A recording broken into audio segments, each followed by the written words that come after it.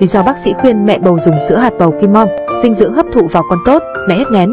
Thứ một, thành phần là 39 loại hạt dinh dưỡng và tảo xoắn được nghiên cứu dành riêng cho mẹ bầu. Thứ hai, hàm lượng axit folic cao giúp thai nhi ngừa được dị tật ở những tháng đầu thai kỳ.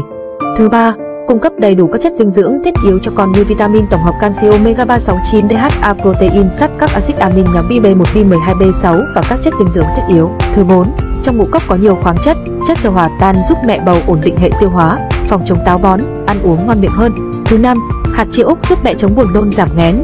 Thứ sáu, giúp thai nhi phát triển tốt từ trí não đến cân nặng. Thứ bảy, sản phẩm hỗ trợ giảm ngén, vị ngon dễ uống. Ít đường ăn kiêng ít chất béo giúp mẹ hạn chế được tình trạng tiểu đường thai kỳ. Thứ 8, dạng đóng gói tiện lợi, dễ pha chế và bảo quản được lâu, đặc biệt có hai vị cho mẹ lựa chọn, vị cacao thơm ngon như trà sữa và nguyên vị truyền thống. Mẹ bầu hãy thử một lần sữa hạt Kim Mom nhé.